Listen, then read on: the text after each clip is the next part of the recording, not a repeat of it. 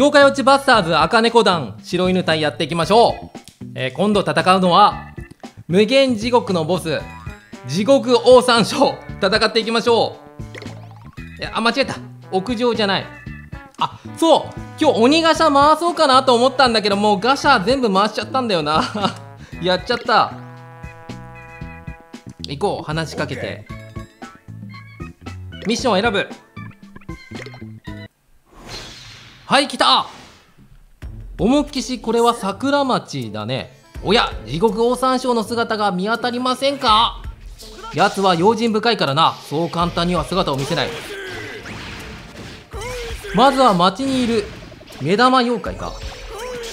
うん。奴は怒り狂って姿を現すはずだ。今戦ってるのがまさにそうだね。こいつ勝てえなめっちゃ。目玉妖怪をとりあえず12匹倒すの？しかも1匹1匹がすげえ硬えからこれ時間かかりそうだな。OK まずは1匹やっつけた。これちょっとね時間がかかりそうなんでちょっとカット編集で飛ばします。お全員やっつけた。小学校に強い陽気反応よ。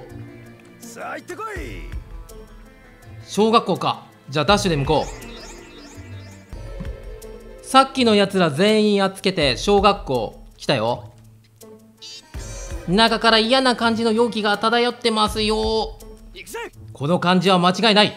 地獄王三将はこの中だ。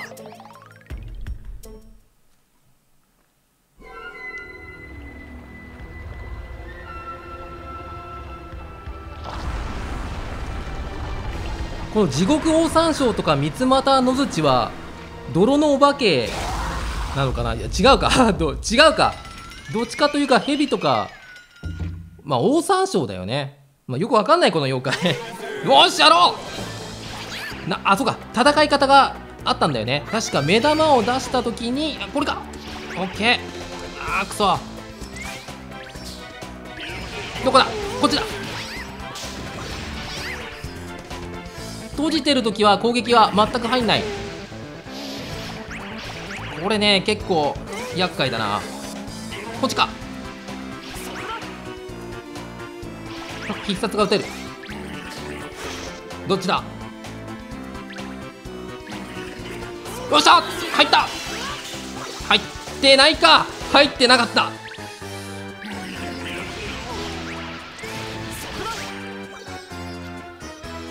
うんこれすげえ厄介だな。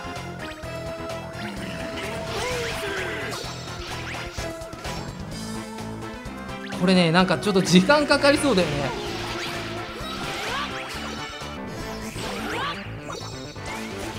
おおなんか変なやつ出してきた出してきた。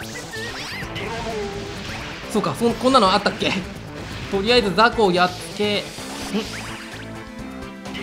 んんとこっちだ当たってない。攻撃当たってない。避ける。おっしゃ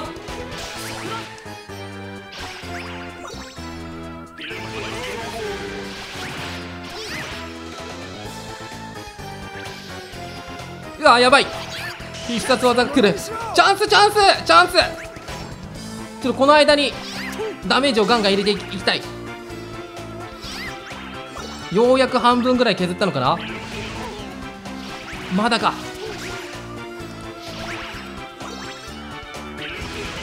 間違えた。こっちだ。よしようやく半分削った。こっちだ。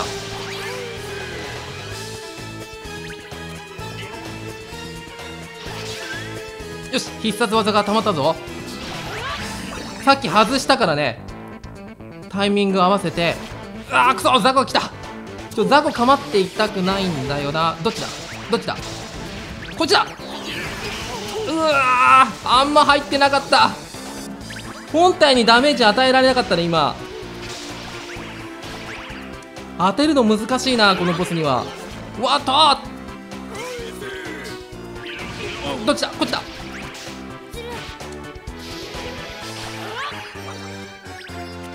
こっちか。うわやばい！やばい！必殺来る必殺が来る。よしチャンスチャンスチャンスチャンス。今のうち今のうち。にゃにゃにゃにゃにゃにゃうん。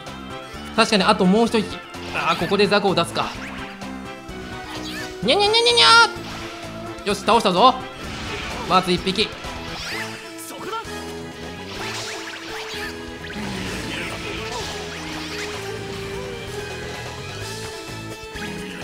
鬼玉拾っていこ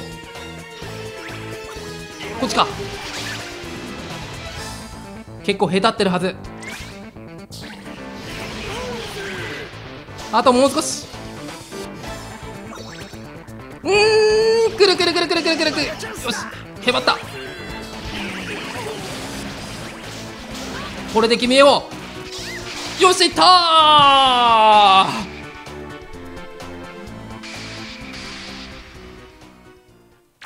やっつけたー。えー、っと。出口。うん。